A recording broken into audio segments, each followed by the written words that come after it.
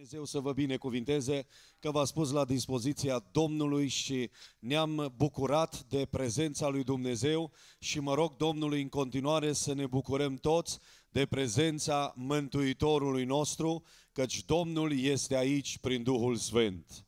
Un bărbat a spus odată, fără să-și dea seama că în locul acela îl va întâlni pe Dumnezeu, în momentul când omul acesta fugea de acasă, fugea de fratele lui că îl urmărea să uh, își regleze situația cu el și a stat într-o cetate în luz, uh, n-a avut loc undeva să-și, nici nu și-a permis o cazare, undeva afară, în aer liber, a pus o piatră la cap, o fi pus ceva pe piatra aceea și și-a rezemat capul acolo, fără să știe că în locul acela era prezent Dumnezeu.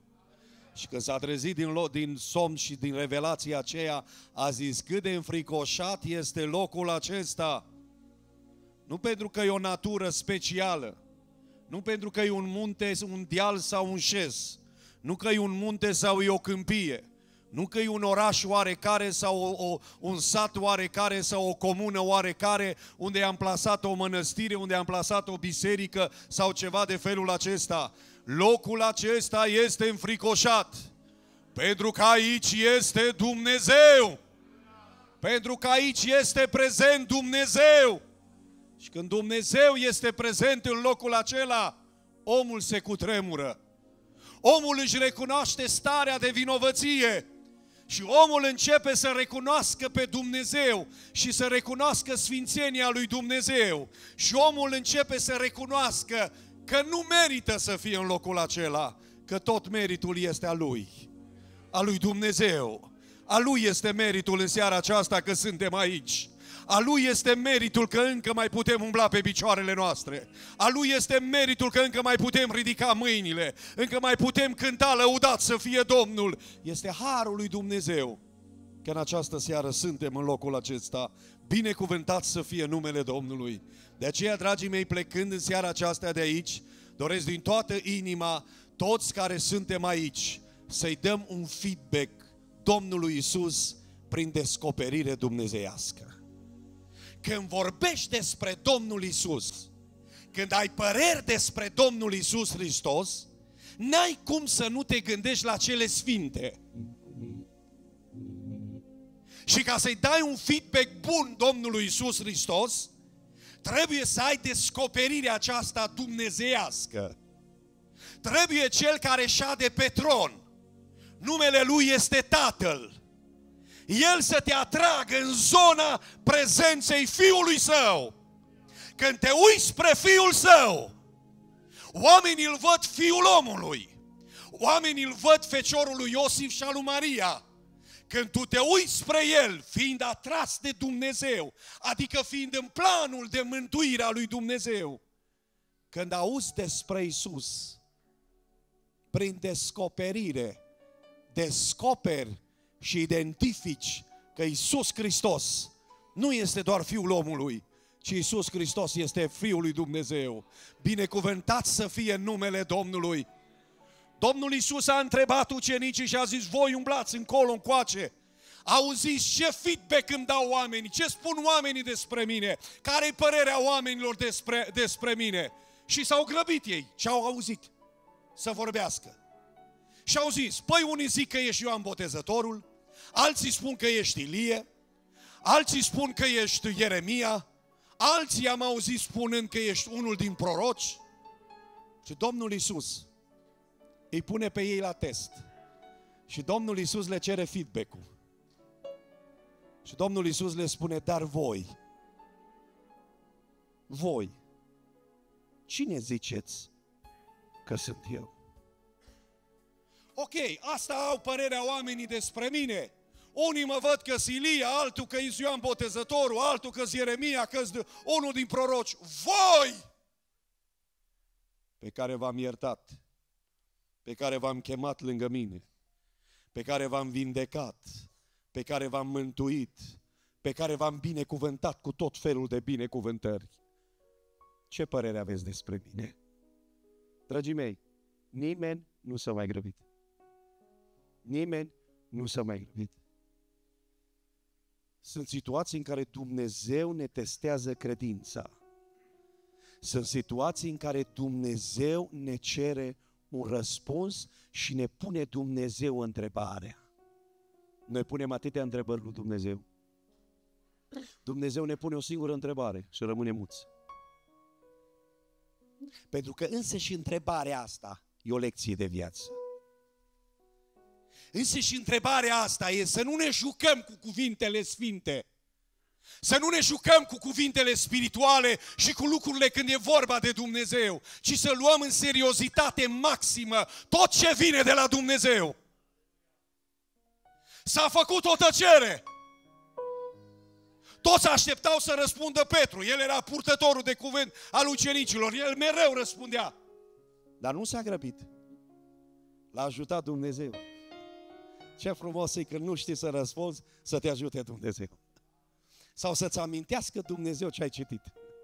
Că unii mai spun, lasă frate, du-te la examen, că e examenul, că Domnul va fi cu tine. Păi de unde să iei dacă n-ai citit? Te duci la școala de șofer, că Domnul e cu tine. Tu n-ai citit, tu nu știi întrebările, tu nu știi indicatoarele, tu nu știi legislația și te duci. Nu ei. Nu, dacă nu înveți, nu ei. Te duci undeva să vrei să fii ceva, intri undeva într-o instituție, spune niște, ne spune acolo un, un, un, un examen în față. Domnule, te pricep în domeniul respectiv, dă un test. Dacă ai luat testul ăla, intri în compania respectivă sau în, în, în instituția respectivă. N-ai știut uh, să răspunzi la întrebările acelea? Nu intri.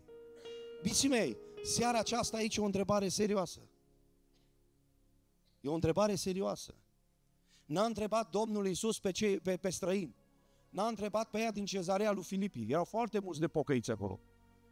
Tocmai acolo i-a întrebat Domnul. I-a dus Domnul pe ăștia într-un cerc mai așa, mai restrâns. Și Domnul a făcut o ședință de comitet cu ei. Și Domnul a zis, vreau părerea voastră. Și nu știu niciunul să răspundă. Dumnezeu l-a ajutat pe Petru.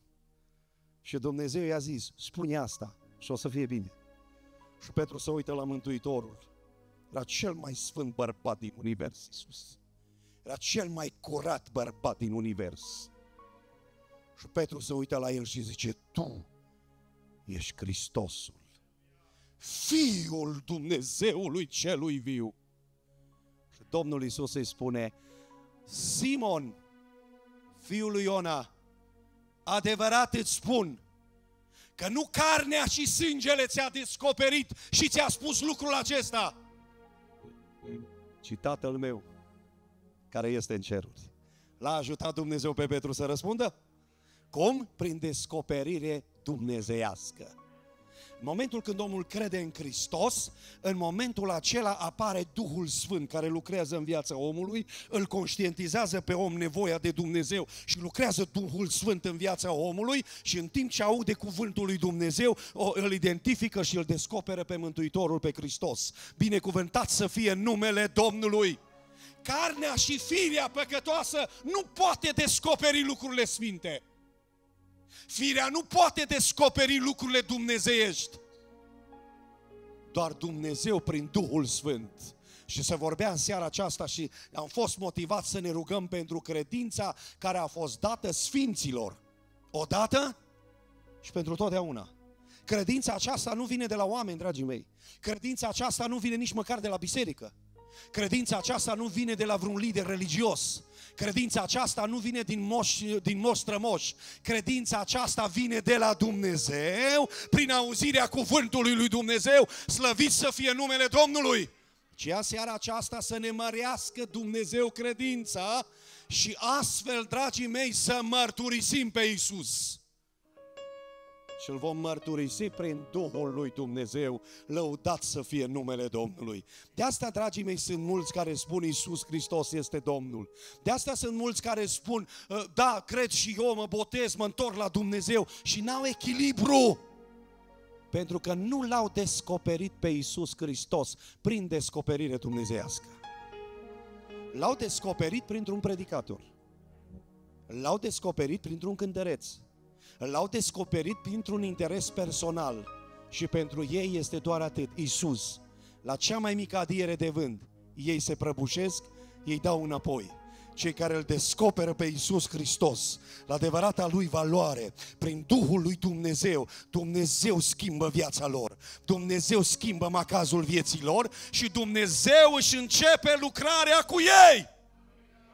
Dați ce face Dumnezeu și ce spune Domnul Isus aici. În momentul când Petru a descoperit lucrul acesta prin Duhul lui Dumnezeu și prin descoperirea care vine de la Dumnezeu și a început Domnul lucrarea cu Petru. Și uitați ce spune. Eu îți spun, tu ești Petru. Și pe această piatră voi zidi biserica. Cu tine încep lucrarea. Cu tine încep biserica. Cu tine încep să zidesc biserica mea. Tu ești prima piatră. De ce? Tu ai descoperirea. Tu l-ai descoperit pe adevăratul preot, pe adevăratul păstor, pe adevăratul Hristos. Binecuvântat să fie numele Domnului. Când ai descoperirea aceasta și chemarea aceasta de la Dumnezeu, Dumnezeu își începe lucrarea cu tine. Dragii mei, mulți vor să lucreze. Mulți vor să facă ceva în biserică, în, în, în societate, în, în lumea asta. Dragii mei, dacă facem fără Dumnezeu, nu avem succes cu Dumnezeu nimeni nu poate birui lucrarea lui Dumnezeu și pe Dumnezeu. Dați ce spune Domnul Isus Hristos aici. Uh, voi zidi biserica mea și porțile locuinței morților nu vor elui. Știți că foarte mulți s-au luptat să distrugă biserica aceasta. S-au luptat să distrugă lucrarea aceasta. Ei sunt distruși, biserica înaintează biserica propășește. Pentru că la cârma bisericii e păstorul cel mare. E Iisus Hristos, Fiul lui Dumnezeu, care ține cu braț puternic biserica lui. Au început la început atunci să distrugă biserica, n-au putut. Au încercat cezarii romanii să distrugă biserica, n-au putut. Au început Inchiziția să distrugă biserica, n-au putut. Ei au fost distruși. Au început comuniștii să distrugă biserica, la fel n-au putut. Biserica înaintează de peste 2000 de ani. Biserica încă mai este activă și biserica înaintează pentru că în biserică este Isus Hristos. Câtă vreme în biserică este Isus Hristos, biserica înaintează. Că nu mai este El în mijloc. Biserica ce nu mai înaintează. Acolo e locul lui, să știți. Unii spun, frate, locul Domnului la învol. Amin. Locul Domnului la cântăreț. Amin. Locul Domnului... Uh, și oamenii văd locul ăsta cel mai, cel mai în față. Iubiții mei, locul Domnului este în mijloc. Din mijlocul celor șapte sfeșnice, spune Ioan, am văzut pe cineva care semăna cu fiul omului. Părul lui era alb ca lână, fața lui strălucea ca soarele, ochii lui ca para focului, picioarele lui erau ca rama aprinsă și arsă într-un cuptor, în mâna dreaptă ținea șapte stele. Când l-am văzut, am căzut ca mort la picioarele lui. El și-a pus mâna peste mine și mi-a zis, Ioane, nu te teme, eu sunt Isus am fost mort și am înviat. Eu țin cheile locuinței morților. Biții mei, în mijlocul celor șapte sfeșnice, adică celor șapte biserici, este El prezent. Câtă vreme în mijlocul familiei, în mijlocul bisericii, este Isus Hristos. Este El în centru atenției, cu alte cuvinte. Lucrarea lui Dumnezeu înaintează și oamenii din biserică sunt binecuvântați de Dumnezeu. Câtă vreme în familie, în mijloc este Mântuitorul, este Isus Hristos, familia aceea înaintează și Dumnezeu o binecuvintează. De aceea, dragii mei, să nu-L ținem nici la ușă, să nu-L ținem nici în față, să nu-L ținem nici în spate, ci să-i spunem Doamne, locul Tău e în centru atenției vieții noastre. Locul Tău este în mijloc. Tu ești stăpânul, Tu ești creatorul, Tu ești salvatorul. Binecuvântat să fie numele Domnului. Să știți că nu toți care l-au, l-au văzut pe Domnul și au văzut lucrarea Lui, nu toți i-au dat acest feedback și nu toți au avut această părere că El este Hristosul. Chiar și ucenicii odată au rămas așa nedumeriți. Au rămas nedumeriți ucenicii în momentul când au călătorit cu corabia. Pe neașteptate s-a stârnit o furtună foarte mare și era corabia era amenințată de, de, de valuri și era gata, gata să-și piardă viața ăștia. Și toți au început să se salveze. La un moment dat se duce cineva la Isus, Isus dormea. Domnule, ăștia toți agitau, agitați în timpul furtunii, valuri băteau și acopereau corabia, Iisus Hristos dormea. El era liniștit. Știți de ce? Pe el nu-l sperie furtuna. Pe el nu-l sperie valurile, pe el nu-l sperie încercările vieții, pe el nu-l sperie nimic. El doarme și el stă liniștit. Necredincioșii erau foarte agitați, erau foarte supărați și au venit cu expresia asta. Nu-ți pasă că pierim. Se ridică Mântuitorul în picioare, spune că ceartă vântul și marea, că l-au văzut valurile alea mari în mândria lor, s-au retras. S-au retras valurile, că în picioare s-a ridicat Creatorul. Mântuitorul a început să vorbească furtunii. Taci! Și vântul s-a retras, cum bătea cu toată puterea. Și spune cuvântul Domnului că s-a făcut o liniște mare. Și ăștia așa au început să-și dea cote. Și au zis, ce fel de om este acesta? De la ascultă și marea și vântul și valurile. Domnul Iisus i-a auzit, dar nu le-a zis nimic. Nu i-a, nu, le, nu i-a reproșat. Știți de ce? Era în școala lui. Era în pregătirea lui. Trecem prin unele situații în care nu-L înțelegem pe Dumnezeu. Avem întrebări fără răspuns, nu percepem lucrarea lui Dumnezeu.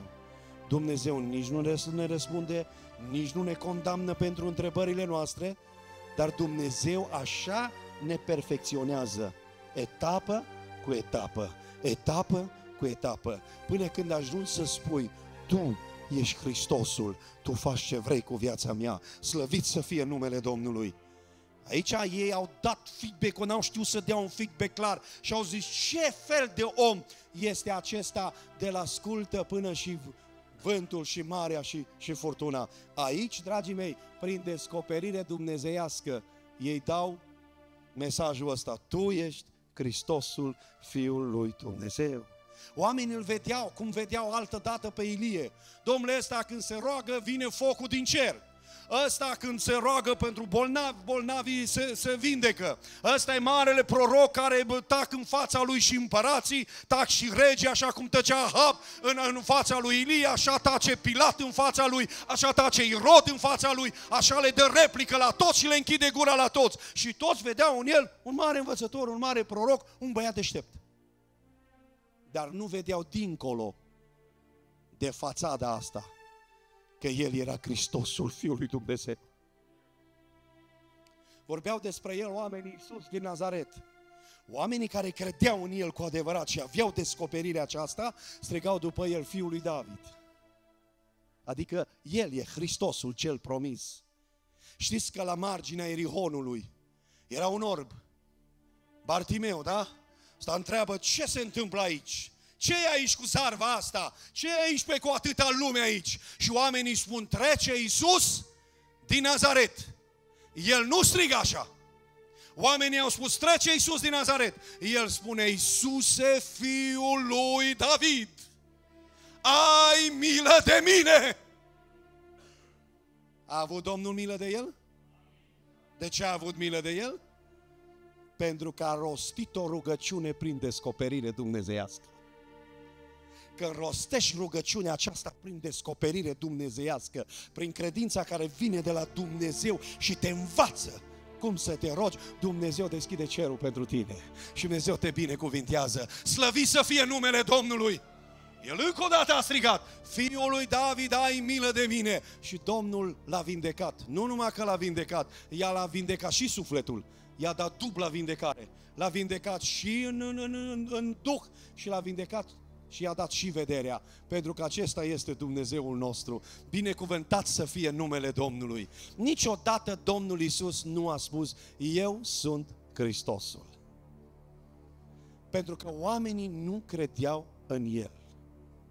Oamenii nu percepeau și nu acceptau așa ceva, ca Fiul omului să fie Hristosul.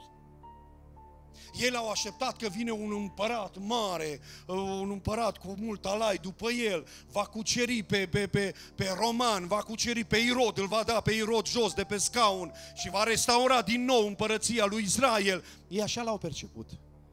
Și împăratul vine călare pe măgar. E pe măgar, câțiva oameni, tot așa, când se uită oamenii, se uită unii oameni și prind descoperire dumnezeiască când îl văd oamenii spun, oh, ăsta e regele, ăsta e Mesia, ăsta e Hristosul. Și oamenii s-au dus, s-au rupt crești din copaci. Alții nu au avut ce, cu ce să-l întâmpine. O da hainele jos de pe ei. Cine știe ce haine fi avut ăștia? Și o da hainele jos de pe ei, le-au aruncat în fața Domnului Isus și strigau, binecuvântat este Cel ce vine în numele Domnului. Trăiască împăratul. Și preoții și ceilalți au zis, spune-le să tacă!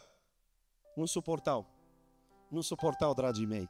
Diavolul nu suportă când aude numele Isus Hristos, pentru că știe că singurul nume care îl poate birui pe diavolul este Isus Hristos. Binecuvântat să fie numele Domnului. De niciun nume nu se teme din, din lumea asta și din sistemul religios. De numele Isus Hristos se teme diavolul. Când tu, ca om al lui Dumnezeu, te identifici cu numele lui Isus Hristos, se teme și de tine.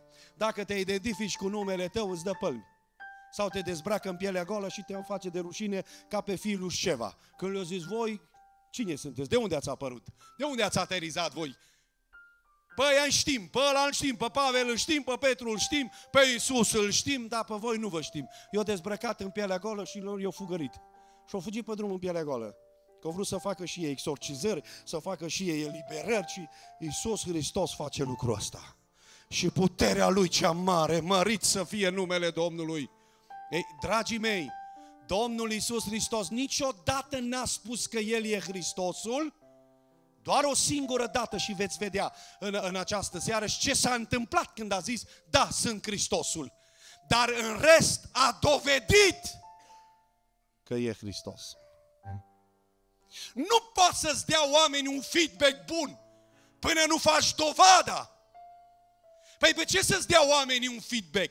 Pe ce să-ți dea oamenii o părere? Ce părere să aibă oamenii în seara asta? Nu e așa că în seara asta, la finalul serii, veți avea un feedback pentru Beni, pentru frații care au vorbit, pentru mine care am, am vorbit, pentru Marius, pentru cei care sunt aici, pentru că am activat în seara asta și am slujit în seara asta. Și mai să veți vedea la final și o să spuneți, oh, ce frumos o cântat sau ce rău o cântat. Oh, ce urât o predicat la de la Unedoara sau ce frumos o predicat la de la Unedoara. În funcție de activitatea pe care o avem. Așa se dă feedback-ul. Dacă tu nu ai o activitate clară, dacă tu nu ai o activitate și o viață trăită aproape de Dumnezeu, să n să-ți dea oamenii să spună că ești omul lui Dumnezeu. Dacă tu trăiești o viață aproape de Dumnezeu, Dumnezeu te va binecuvânta și Dumnezeu va lucra cu putere prin tine. Și oamenii la un moment dat vor spune, omul lui Dumnezeu, fata lui Dumnezeu, copilul lui Dumnezeu, dar în prima fază o să fii făcut praf de toată lumea. Noi ne așteptăm la prima predică, domnule, eu am venit la voi la Moroien, așa, și după prima predică, gata. Eu sunt cel mai tare, eu sunt cel mai bun. Nu, nu, nu, nu, trebuie să treacă ani de zile. Înțelegeți? Ca să mă cunoașteți, Prima dată, dacă eu vin la voi și vin ca predicatul la voi, vă uitați la mine cum sunt îmbrăcat, ce dicție am, ce vocabular am, ce voce am la, la, la oamenii astea se uită. Toată predica mea, o oră cât, cât, cât predic, egal unde, egal unde, o jumătate de oră din predică, oamenii se uită la mine. Se uită la mine. Și dacă Dumnezeu este cu mine, la final oamenii spun Dumnezeu să fie lăudat. Și dacă oamenii spun, bă, ăsta nu au fost, au, făcut, au fost apă de ploaie. Asta e feedback-ul. Însă, dragii mei, ascultați-mă bine ce vă spun în seara asta. Orice om al lui Dumnezeu, orice om care îl reprezintă pe Dumnezeu și lucrarea lui Dumnezeu, în prima fază e terfelit de toți. În prima fază e vorbit de toți, nu de bine. Și are un feedback rău. Dar în timp ce el muncește, în timp ce el nu dă înapoi, în timp ce el activează, în timp ce el slujește pe Dumnezeu, oamenii văd pentru că el face dovada pocăinței, o dovada slujirii. Dacă te pocăiești și ea din neamul tău, spune, du-te, domnule, că nu ești pocăit, că nu ești ta. Tu faci dovada. pocăinței. Chiar dacă ei zic că tu nu ești pocăit, tu faci dovada pocăinței și demonstrezi și ai fapte vrednice de pocăință. Ei vorbesc urât, tu îi binecuvintezi. Ei, uh, ei te blastămă, tu îi binecuvintezi. Ei îți ia cu sila, tu iar uh, te comporți frumos. Oamenii la un moment dat vor să uita, nu se vor mai uita la tine, ci se vor uita la faptele tale. Și în urma faptelor tale îți vor da feedback-ul dacă ești pocăit sau nu ești pocăit. Domnul Isus știa lucrul ăsta. Pentru că Domnul cunoaște toți oamenii, dragii mei. Și Domnul Isus n-a spus niciodată cine este El, dar a făcut dovada cine este El. Dacă eu sunt un pocăit, trebuie să fac dovada că sunt pocăit. Geba eu mă duc pe drum și stric, m-am pocăit. Și eu tot ca înainte, mă zice, nu te-ai pocăit. Înțelegeți? Și s-a fost unul care s-a pocăit și el a vrut să se pocăiască, s-a dus la biserică, s-au predat Domnului, s-au înscris pe lista de botez și acum păstorul a zis, ă, luni începem catecheză și pregătire pentru botez. Și asta zice, domnule, eu nu pot să fiu luni aici, că eu n-am cu ce să vin. Eu stau în statul cu tare și acolo n-am mijloc de transport, n-am cum să vin, cum să fac, să învăț și ce trebuie să, să fac. Așa se uită la el și zice, și eu venit o idee la, la, la păstor. Și zice, auzi, te duci acasă și toată săptămâna pe unde umbli tu, zici la oameni că te-ai pocăit. Și duminica viitoare vii să-mi spui ce ai învățat. Cum așa? Fă ce spun eu. S-a dus acasă, luni dimineața s-a dus unde mergea el de obicei. Deci unde s-a dus? Prima, la primul ceas, la bar. Când s-a dus la bar, a intrat înăuntru în, în bar și ei, uh, când intră acolo, unul strigă, băi Ioane, dar unde ai fost aseară, mă? N-ai fost la biserică, n-ai fost la, uh, aici cu noi. Unde ai fost? Te-am căutat peste tot, nu te-am găsit. Ce-am fost la biserică. Ce-am fost la oraș și zice, m-am pocăit. Haide mine. S-a făcut liniște în, în bar. Se duce la barman și zice, dăm un deț. Barmanul a holbat ochii așa spre el și a zis, până ai zis că te-ai pocăit. Pa, pe da, să m-am pocăit. Păi pocăiții nu beau, mă! Hopa, nu mai am dat dețul. S-a dus la, la, la unul, a scos, a scos țigările din, din, eh, din buzunar, n-avea brichetă și a zis, dă-mă un foc. Și a zis, hei, n-ai zis că te-ai pocăit? Pocăiții nu fumează. Opa, gata, au luat țigările, l-au aruncat, nu mai fumez. Și oamenii din sat l-au învățat cum să se pocăiască. Înțelegeți, oameni buni? Până nu o fă, degeaba o strigă el în gura mare, spocăit. Până nu a făcut dovada, oamenii nu au crezut. Oamenii nu au crezut. Domnul Iisus, degeaba le spunea la oameni, eu sunt Iisus, eu sunt Mesia, eu sunt Hristosul, eu sunt Mântuitorul. Oamenii nu credeau, dar el a făcut dovada mai întâi. S-a dus într-o casă în Capernaum și predica cuvântul lui Dumnezeu. În timp ce predica Mântuitorul, o mulțime de oameni s-au adunat acolo și în curte și peste tot. Și când s-au adunat acolo, toți au venit niște oameni. Au adus pe un slăbănoc cu targa. Când au ajuns acolo, nu au putut intra în casă, așa lume multă era. Și au intrat acolo și au zis ăștia, nu putem să intrăm în casă, nu avem loc. Și vine la unul idee, să meargă prin spate, să dea acoperișul la o parte și să-l lase pe bolnav în, în mijloc acolo, în prezența lui Isus să-l vindece. Așa credință au avut ăștia. Au zis, Doamne, nu plec de aici, nu plecăm până nu-l vindecă pe prietenul nostru. Și așa au făcut. Au dat acoperișul ăla la o parte, l-au lăsat pe ăla cu targă jos. Spune cuvântul lui Dumnezeu că Iisus, când le-a văzut credința la băieții ăștia, a zis slăbănogului, fiule, păcatele tale sunt iertate. Acum, normal, ăștia nu l-au dus ca să fie iertat de păcate. Că ei nu știu de păcatele lui. Dar Dumnezeu știe de păcatele noastre, nu așa? Ei l-au dus ca să fie vindecat de slăbănogire, de boala lui. Dar Domnul Isus, El lucrează în ordine și în rânduială. El mai întâi vindecă motivul bolii și apoi boala. El vindecă Duhul și apoi trupul. Vindecă sufletul și apoi trupul. Slăvit să fie numele Lui. Și a zis, păcatele tale sunt iertate. În momentul acela, toți care erau acolo în casă au început să-și dea coate și a zis, Domne, cum poate să exclame cuvintele astea? Numai Hristosul poate ierta păcatele. Numai Dumnezeu poate ierta păcatele. Asta e hulă ce face El, Iisus din Nazaret. Și Domnul Isus, care i-a cunoscut și așa a auzit, Domnul a zis, cei mai lesne, adică cei mai simplu. A zice păcatele sunt iertate sau a zice ridică spatul și umblă? Dar ca să vedeți și să știți că Fiul omului are puterea să ierte păcatele pe pământ. Ție sporuncesc, a zis slăbănogului, ridică-te în picioare! Și s-a ridicat în picioare. Știți de ce? Mântuitorul l-a vindecat în suflet, l-a vindecat în trup și a făcut dovada că este Hristosul. Ei au zis, numai Hristosul poate ierta păcatele. Domnul n-a zis, da, aveți dreptate sau să știți că Fiul omului are putere să ierte păcatele, pentru că are puterea să vindece și bolile. A făcut dovada. Toți au rămas muți și n-au mai putut spune un cuvânt, pentru că Isus Hristos a demonstrat că e Hristosul. Slăvit să fie numele Lui. Dragii mei, a făcut dovada în casa lui Zacheu că El este Mântuitorul și iertătorul de păcate.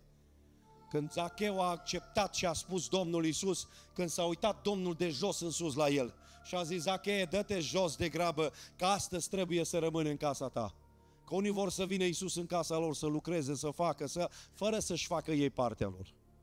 Când ești plin de mândrie și plin de aroganță și te uiți de sus în jos la toate lucrurile, până și la Dumnezeu te uiți de sus în jos. Dumnezeu nu poate lucra în casa ta, Dumnezeu nu poate lucra în viața ta. În seara aceasta tot să ne coborâm în zmerenie și în seara aceasta să recunoaștem a tot puternicia Lui. Binecuvântat să fie numele Domnului.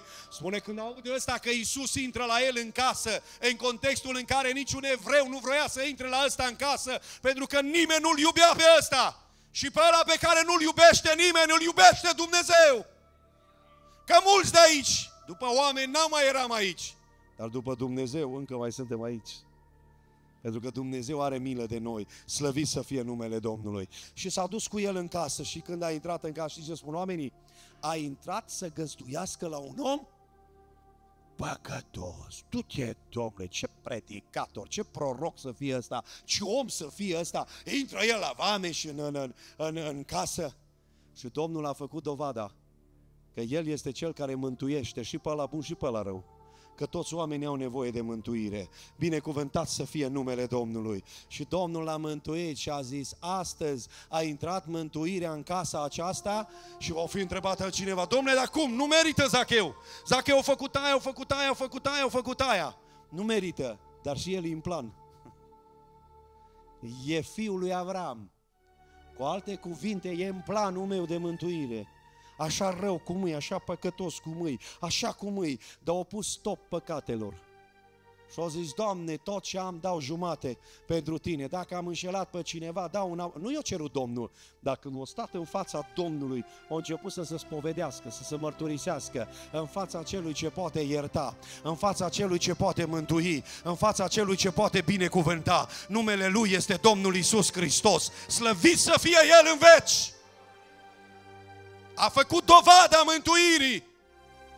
Însă Simon leprosul care l-a făcut Dumnezeu bine, l-a invitat în casa lui să-i dea de mâncare și să dea o masă în numele Domnului. Și când erau toți acolo adunați, o femeie stricată, o femeie păcătoasă, spune Scriptura că a intrat aia, n-avea loc pe scaune, nici nu vroia loc pe scaune, nici nu vroia loc la masă, ea știa unde-i locul ei, locul ei era la picioarele lui Isus Hristos început să plângă acolo. N-a avut un ștergar. Și-a luat părul ei și l-a pus la picioarele Mântuitorului. A pus stop cu toate păcatele ei. N-a știut să se roage, dar a știut să plângă și să se recunoască înaintea Domnului. Și asta a început să judece în gândul lui. Și a zis dacă ar fi... A dat feedback cu Domnul Isus. Și Domnul a vindecat, Domnul i-a făcut bine. Dacă a fost vorba de mântuire, de credința în Mântuitor și în Salvator. Zici, Domnule, până aici. Că așa sunt oamenii. Dumnezeu le face bine. Când să se pocăiască, uită. Nu mai recunosc pe Dumnezeu. De aceea noi care suntem aici, să nu uităm binele care ne l-a făcut Dumnezeu. Că suntem aici, că Dumnezeu a avut milă de noi. Slăvit să fie numele Domnului în veci. Zice, dacă ar fi ăsta un proroc cu adevărat, ar ști cine e femeia asta. Da. A fost dezamăgit. Simon a fost foarte dezamăgit. Și Domnul Iisus, care le știe pe toate, zice, știu cine e femeia asta. Zice, dar îți spun ceva mai întâi. Și era stilul lor la evrei. Ei pun o întrebare, îți răspunde cu o replică. Ca să înțelegi răspunsul lui. Și Domnul zice, un om avea doi datornici, un cămătar. O împrumuta pe doi. Pe unul cu 500, pe altul cu 50. Ăștia erau săraci lipiți pământului. Domnule, nu mai aveau de unde să-i dea banii la, la ăsta înapoi. Ăsta a avut milă, i-o iertat pe amândoi. Care crezi tu că l-a iubit mai mult? Și el s-a adunat așa, da să era centru atenției. Toți în casă, s-a adunat așa, s-a haide așa, fariseu. Păi să o cotesc ăla căruia i-a iertat 500. Da? Drept ai zis. Și a început Domnul să-i dea palme în fața tuturor. Că atunci când te înalți, Dumnezeu îți dă palme să cobori. Ca să înțelegi că Dumnezeu e Dumnezeu. Să înțelegi că unul singur e Hristosul și El merită toată slava. El merită toată cinstea și toată gloria. Și noi suntem doar sub El, slujitorii Lui. Doamne ajută-ne pe toți! Și a început Domnul Iisus să-i dea palme prin cuvinte și să-L înjosească în fața tuturor. Am intrat în casa ta și nu mi-ai dat o sărutare după obicei. Ea de când ai intrat, n-a încetat să-mi sărute picioarele.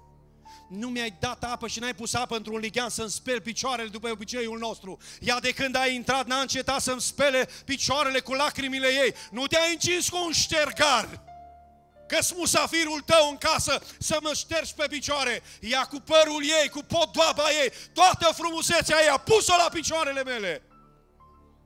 Vreau să spun, Simone, păcatele ei, care sunt multe, astăzi sunt iertate. A putut comenta cineva? A putut comenta Simon? Domnul a făcut dovada că este Hristosul. Citit unul din frați aici despre Samariteancă și foarte bine a punctat. Samariteanca s-a uitat la el și a zis, ești proroc. Tu ai spus toată viața mea. Tu știi toate detaliile despre mine. Cinci bărbați am avut, ăsta cu care stau acum nu mi bărbat. Tu știi totul despre mine. Domnule, noi așteptăm pe unul Mesia. Spunem, tu ești. Sau să așteptăm pe altul? Domnul Iisus nu zice eu sunt. Doar îi dă de înțeles. Și zice, cel care stă de vorbă cu tine. Și ce a însemnat asta pentru ea? Nimeni nu stătea de vorbă cu femeia asta afară de cel care poate ierta și reabilita oamenii. Iisus Hristos. Cel care stă de vorbă cu tine. Și-o lăsat găleata și-o fugit în sat. Și-o fugit în sat și-o început să zbere. Tă satul îi cunoștea vocea. Toți o știau. Când o auzeau și auzeau glasul, toți de pe stradă, de pe toate străzile din Samaria o cunoșteau că -i... De data asta vocea ei a fost schimbată, transformată vocea ei nu mai era deranjată și în vocea ei nu mai erau blesteme și înjurături, ci în vocea ei era graiul lui Dumnezeu. Și femeia striga, veniți și vedeți! M-am întâlnit cu Mesia! Și oamenii ieșeau și se uitau. Ce să vadă oamenii? Au văzut dovada. Să uitau oamenii la ea. Și când au văzut-o oamenii, și-au dat seama oamenii că numai Mesia poate să lucreze. Numai Mesia, numai Hristosul poate schimba oamenii și poate transforma oamenii. Și spune cuvântul Domnului în capitolul 4 din Ioan cu versetul 39. Samaritenii au crezut în Isus din pricina mărturiei femeii. Nu că le-a predicat un pastor. Nu că le-a cântat cineva, ci au crezut în Isus din pricina femeii. Mărturiei ei. Avea o mărturie bună. Seara aceasta Domnul să ne ajute să avem mărturie bună aici la Moroieni, noi la Hunedoara, frații ceilalți la, la Bărbuleș și toți unde suntem în zona în care suntem noi, să avem o mărturie bună. Vei avea o mărturie bună dacă într-adevăr ai avut o întâlnire cu Isus Hristos. În seara aceasta eu te întreb, te-ai întâlnit cu Isus Hristos? Când te întâlnești și când omul se întâlnește cu Isus Hristos, Isus Hristos își începe lucrarea cu el. Cu Petru și-a început lucrarea. Biserica Domnului a început de aici, de la descoperirea aceasta. Dumnezeu își începe lucrarea cu tine. În seara aceasta, ce feedback îi dai Domnului Isus? Cu alte cuvinte, ce poți să spui tu despre Isus? Știți? Psalmistul spune așa, îmi pusesem nădejdea în Domnul. El s-a plecat spre mine. Mi-a ascultat strigătele, m-a scos din groapă, din noroi, din mocirlă. M-a ridicat, mi-a pus picioarele pe stâncă, mi-a și întărit pașii. Că o știut că eu slab. O, știu că vine vântul și vine vigilia și iară mă dărâmă de pe stâncă. Și ca să nu mă mai dărâme de pe stâncă, mi-a întărit pași acolo cu ciment, cu șurub, cu ce au pus acolo, dar pe stâncă! Mi-a pus în gură o cântare nouă, o laudă pentru Dumnezeu. Și au zis ce spune el, mulți au văzut lucrul acesta. Ce au văzut oamenii? Zice, s-au temut și s-au încrezut în Dumnezeu. Ce au văzut oamenii? Că de acolo din groapă, din noroi, Dumnezeu cu braț puternic l-a ridicat. Și Dumnezeu din groapă l-a pus pe stâncă. În groapă nu se prea vedea. Doar aia care treceau pe acolo știau, bă, în ce faliment e ăsta, în ce groapă e ăsta, în ce necaz e ăsta, vai, în ce durere e ăsta. Dumnezeu de acolo, din durere, din necaz, îl ia pe om și îl pune sus de tot ca să fie văzut și când oamenii îl văd acolo sus, spun oamenii, numai Dumnezeu a putut să facă treaba asta. Numai Dumnezeu ne-a putut salva pe mulți dintre noi. De aceea în seara aceasta să nu uiți ce a făcut Dumnezeu pentru tine. Cam ăsta feedback trebuie să-l dai Domnului Isus. Să nu uiți ce a făcut pentru tine. Că de fapt, pentru fiecare dintre noi, Domnul a făcut ceva. Pentru că El e Hristosul. El cu scopul ăsta a venit N-a spus la nimeni că e Hristosul, dar a dovedit că e Hristosul. A ajuns în fața marelui preot. Nu l-au putut condamna absolut cu nimic. De asta scrie aici cuvântul Domnului în ultimul verset, în versetul 20. Le-a poruncit să nu spună nimănui că este Hristosul. Că dacă ucenicii spuneau, îi credeau oamenii. Și automat îl luau și îl condamnau. Acesta a fost motivul pentru care marele preot, soborul bisericesc din vremea aceea, a dat verdictul morții și răstignirii lui, pentru că a zis, a blasfemiat legea, a blasfemiat pe Dumnezeu, a hulit. Nimeni nu poate pretinde că este Hristosul, doar Hristosul, dar nu știau de unde vine. Cu toate că Cartea Sfântă le spunea de unde vine, dar nu vreau să perceapă și să înțeleagă lucrul acesta. Și marele preot, pe scaun în fața tot, tot, tot a întregului sobor bisericesc. Îl întreabă, pretinzi că ești tu Hristosul? Se aude că se spune despre tine. Am auzit oamenii spunând, El este Hristosul, El m-a vindecat, El m-a iertat, El m-a mântuit, El l-a înviat pe Lazar, El a înviat-o pe fata lui Air, El a făcut minuni și semne și oamenii spun că ești Hristosul. Spunem, ești Hristosul! Nu l-au putut prinde cu absolut cu nimic. Și Domnul Iisus simplu, calm, și zice, tu ai spus-o. Nu zice, tu ai spus-o. Exact așa cum ai spus tu. Sunt. În momentul ăla s-a ridicat marele preot în picioare și a făcut un gest pe care nu avea voie să-l facă marele preot. Niciodată s-a ridicat în picioare și a zis, blasfemie! Și și-a rupt hainele de pe el. În momentul acela erau doi mari preoți în picioare, față în față. Preoția pământească și preoția cerească. O preoție pământească reprezentată prin vestimentație și o preoție cerească reprezentată prin gesturi, prin fapte, și dovezi. Și-a rupt ăsta preoția. Și din momentul ăla a rupt Dumnezeu preoția de pe pământ. Și a rămas în picioare marele preot care a fost pus peste casa lui Dumnezeu. Și spune Pavel, de un astfel de preot aveam nevoie, fără pată, fără vină, fără păcat. Acesta este Isus Hristos, Fiul lui Dumnezeu, mărire Domnului! Momentul când și-a dat Duhul pe cruce, s-a cutremurat pământul, s-a mișcat din axa lui pământul și s-a cutremurat, căci pe cruce muria Creatorul.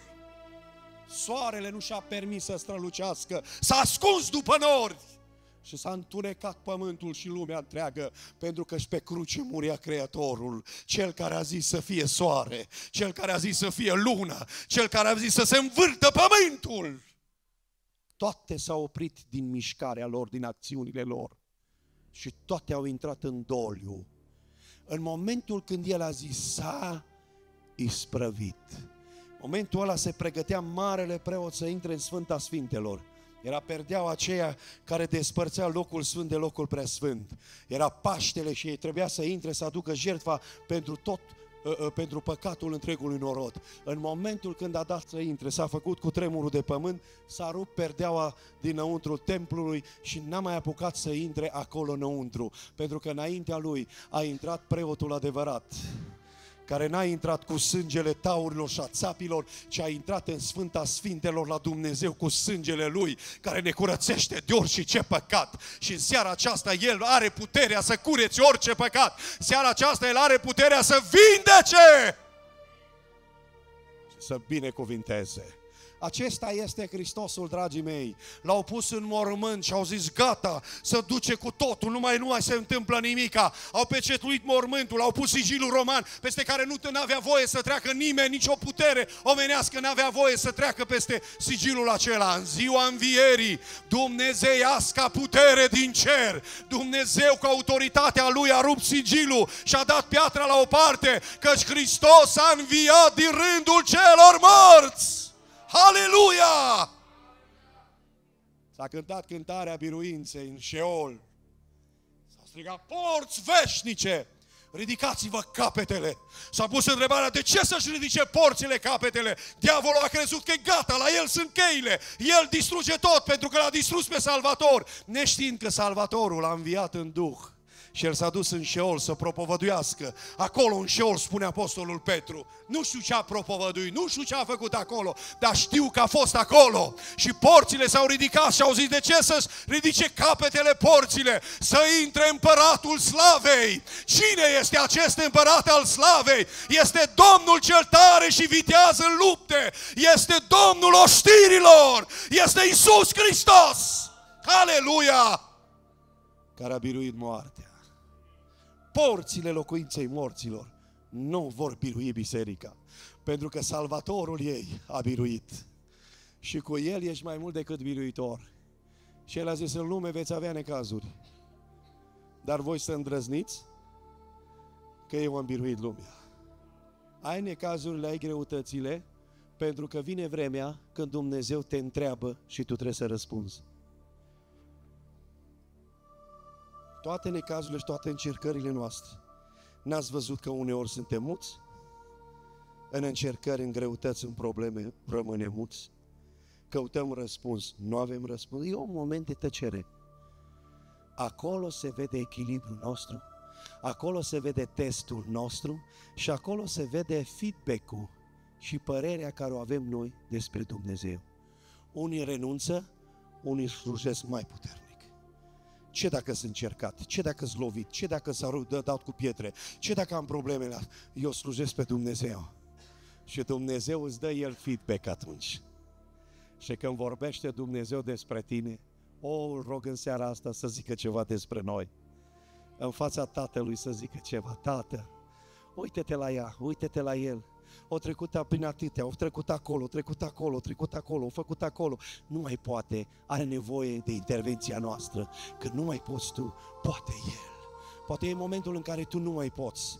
Poate e momentul în care ești descurajat. Poate e momentul în care ai o grămadă de întrebări, chiar multe întrebări, fără niciun răspuns. În seara asta Iisus Hristos e răspunsul tuturor întrebărilor noastre. În seara asta Iisus Hristos să spună o vorbă în dreptul nostru. Haideți să ne ridicăm în picioare. Și haideți în seara aceasta, dragii mei, să spunem ceva despre Domnul Isus. Știți, s-a cântat în seara asta, eu strig lăudat să fie Domnul și sunt ispăvit. Știți, atâția oameni încercați, am întâlnit atâția oameni, la unii le merge prea bine, dar n-au pe Dumnezeu. Și unii care se luptă să facă voia lui Dumnezeu, trec din încercare în încercare. Un val cheamă alt val. Dragii mei, diavolul caută să te epuizeze, să te distrugă, să-ți distrugă credința. Suntem chemați în vremea aceasta să ne luptăm pentru credința care a fost dată Sfinților odată și pentru totdeauna. Să trăiești prin credință, nu prin vedere. Oamenii de atunci au trăit prin vedere. Domnule, cine e ăsta? Feciorul templarului, feciorul lui Maria. A, e un templar bun. Și alții vedeau în el un Dumnezeu bun. Vedeau în el un Hristos bun. Până și tânărul bogat a venit și a făcut exclamația aceea, bunule învățător, în contextul în care n-avea voie să numească pe nimeni bun. Legea spunea, unul singur este bun. Doar lui ai voie să-i spui că e bun. El vine și spune, bunule învățător, Iisus îi te replica, pentru ce mă numești bun? Bun este Dumnezeu. Dar cu alte cuvinte, fruntașul a crezut că el, dincolo de predicator, de ce el? E și Mântuitorul care oferă viața veșnică, adică e Hristosul. Seara aceasta, păstrează-ți credința în Dumnezeu. Nu mai vorbi de rău despre Isus. Nu mai cârti, nu mai fi nemulțumit. Nu mai fi supărat pe Dumnezeu, pe Isus Hristos. Nu mai fi supărat pe viața pe care tu o duci și pe tu o trăiești, că numai tu ești încercat, că numai tu ești lovit, că numai tu ai ușile închise. Nu mai spune că Dumnezeu e crunt, că Dumnezeu e rău, că Dumnezeu e așa cum e. Încearcă să schimbi feedback-ul în seara asta. Să-i dai un feedback bun Domnului Isus. Pentru că și dacă îl dai tu și dacă nu îl dai tu, el tot bun îi. Și dacă spui tu că Dumnezeu e bun și dacă nu spui că e bun, el tot e bun. Dar Dumnezeu în seara asta spune voi, voi de aici, cine ziceți că sunt eu? Ce părere aveți voi? Știți, Tom a zis odată, domnule, eu până nu văd, eu nu, nu, nu, nu pot să cred așa ceva. El a predicat că după el vin mulți Hristos, vin așa, eu nu pot să cred, dar până nu văd semnele cu elor. Și Iisus Hristos după o săptămână împlinește dorința. Și se coboară și nu are treabă decât cu Toma. Toma, vine aici, vine aici. Ai vrut să vezi? Hai să te Hai să-ți arăt. A dus degetul încoace. Ai vrut să pui tu degetul, adu încoace degetul. Domnul care le știe pe toate. Slăvit să fie numele Lui. Și cum pune asta mâna pe, pe, pe rănile Domnului Isus, să uite la fața Domnului, încet, încet se apleacă, se apleacă în genunchi și face o afirmație și dă un feedback Domnului Isus. Domnul meu și Dumnezeul meu. Tu ce spui despre Domnul în seara asta? Lor le-a zis Iisus, vedeți să nu ziceți la nimeni că eu sunt Hristosul. Pentru că asta era sistemul religios din vremea aceea și Domnul le știe pe toate. Dar Domnul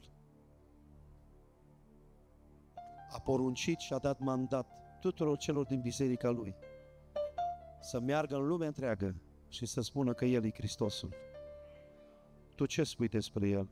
Oameni buni, trebuie să vorbim continuu și să avem mărturie despre El continuu, dar de cele mai multe ori prin faptele noastre.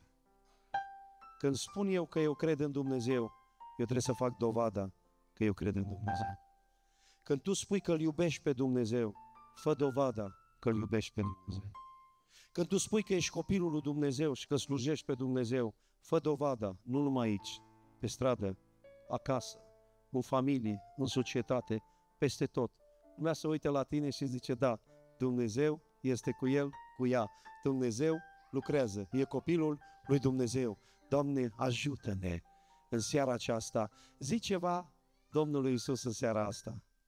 Poate o să spui Domnului în seara asta, Doamne, îți mulțumesc frumos că încă mai sunt în casa ta. Îți mulțumesc frumos că de mult trebuia să fiu în țărâna pământului. dar încă sunt în casa ta.